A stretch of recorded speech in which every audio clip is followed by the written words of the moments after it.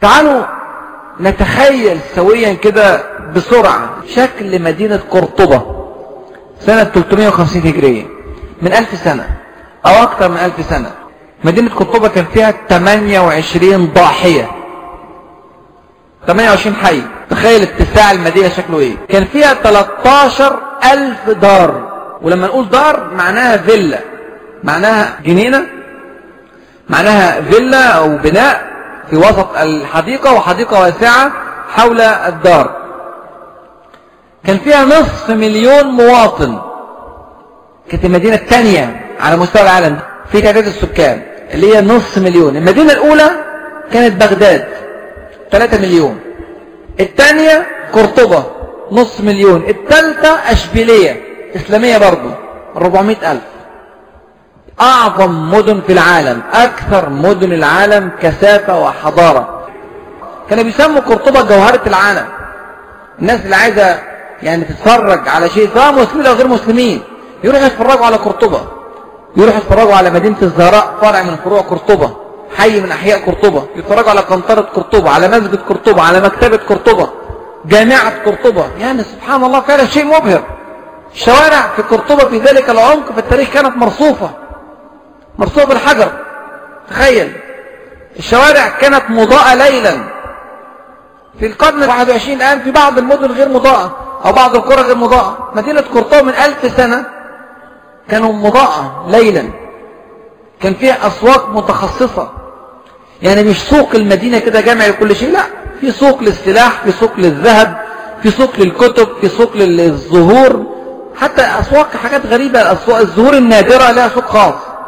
الحيوانات النادرة لها سوق خاص.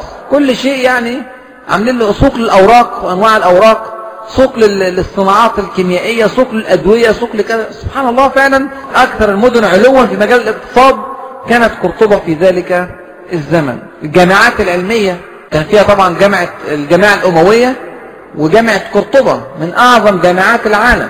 وكلنا عارفين الرسالة المشهورة التي أرسلها ملك إنجلترا إلى أحد يعني حكام المسلمين هشام بن عبد الرحمن الثاني في الأندلس ويرجوه في هذه الرسالة أن يعلم ابنته مجموعة من علماء إنجلترا العلوم في جامعة قرطبة.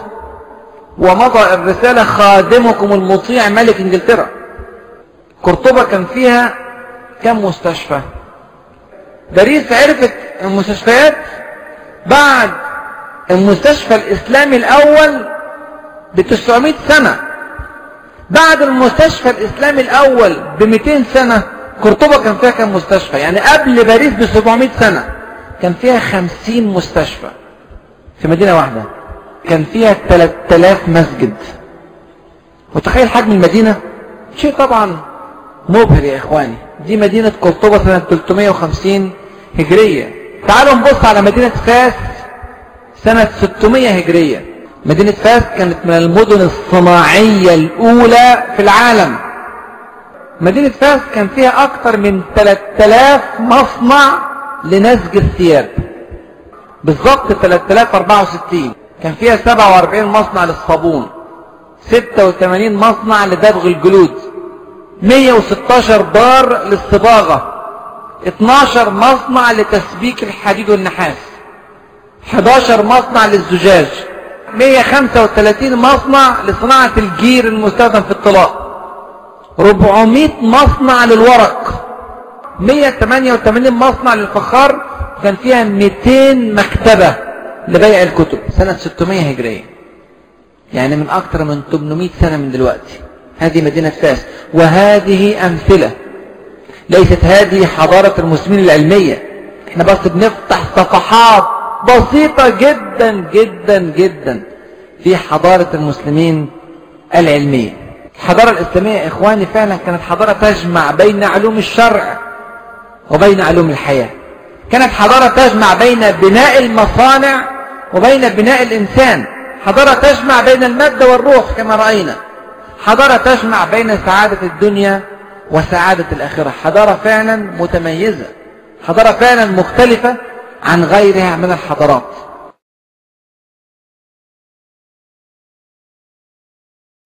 يا أرض أندلس الحبيبة كلمي إني بكيت على فراقك فاعلمي